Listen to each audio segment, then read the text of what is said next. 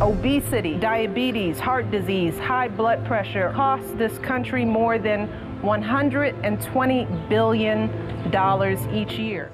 Cancer rates going up, heart disease going up, stroke going up.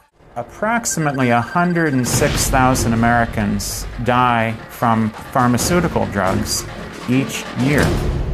And, but if we think we're going to go to the doctor and get a pill for everything, we've missed the whole point. We're poisoning ourselves with highly processed, nutrient depleted foods. The human body has such powerful defenses that a normal, healthy body cannot, will not develop cancer or any other chronic disease for that matter.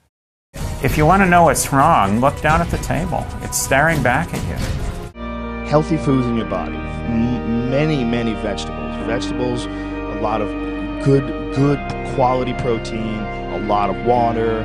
Stop the sodas, stop the bullshit. Our national authorities are simply excluding this concept in order to protect the status quo. Medicine.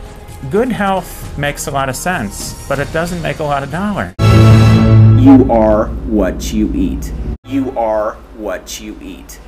You are what you eat. Food does matter.